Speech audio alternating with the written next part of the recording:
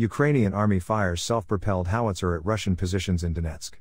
Ukrainian servicemen fired a self propelled howitzer at Russian positions on Saturday, December 3, near the Donetsk Oblast town of Bakhmut. Loud shots broke heavy gusts of wind as Ukrainian servicemen fired shell after shell. Russian forces have repeatedly tried to seize Bakhmut, which sits on a main road leading to the cities of Slavyansk and Kramatorsk. Both are situated in the industrial Donbas region, which Moscow has yet to fully capture.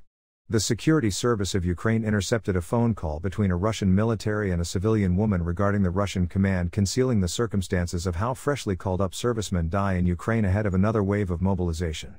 In the call, the woman is heard telling the man, who is fighting in the Donetsk region, that the mobilized return home in coffins, while their relatives are most stunned by the official cause of death reported to them.